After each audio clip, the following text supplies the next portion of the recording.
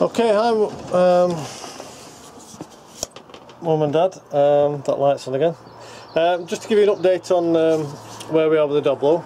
Um, I've got most of the parts together again. Uh, I'll show you those bits now.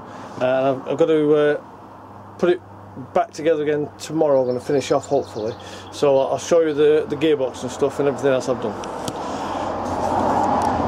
So here we have the um, the gearbox uh, all sorted and ready. Uh, that centre bearing there is a little bit worn but it'll do for the time being. Um, I'll put a, a, new clutch in at some point in the future. Uh, I've got it on this trolley thing just for wheeling about because it's quite heavy. Uh, inside here. Again.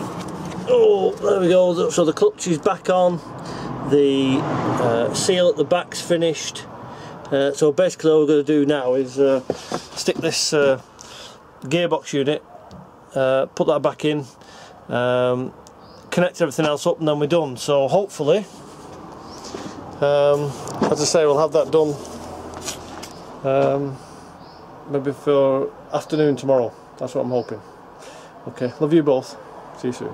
Bye.